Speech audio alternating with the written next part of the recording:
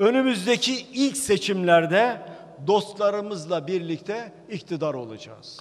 HDP'nin gölgesinde, dostlarının dizinin dibinde, 3 milletvekilinin istifa etmesinin ardından CHP'de sular durulmuyor. Parti içindeki rahatsızlıklar devam ediyor. Cumhuriyet Halk Partisi'nde yeni istifalar bekleniyor. Sayın Deniz Baykal'la görüşme yaptık.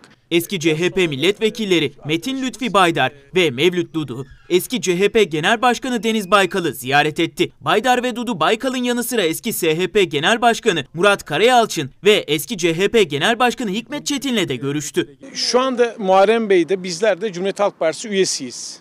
Ee, o yüzden e, ama Cumhuriyet Halk Partisi üyesi olarak partideki e, son bir e, dönemdeki bazı gelişmelerden rahatsızız.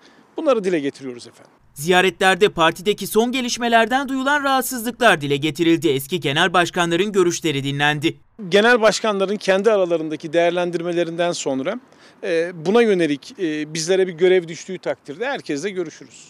Şu anda geldiğimiz noktada, geldiğimiz aşamada e, başta Sayın Baykal olmak üzere Sayın Murat Karayalçın, Sayın Hikmet Çetin ve Sayın Altan Öğmen'in kendi aralarındaki değerlendirmelere göre bundan sonraki hareket tarzımız belli olacak.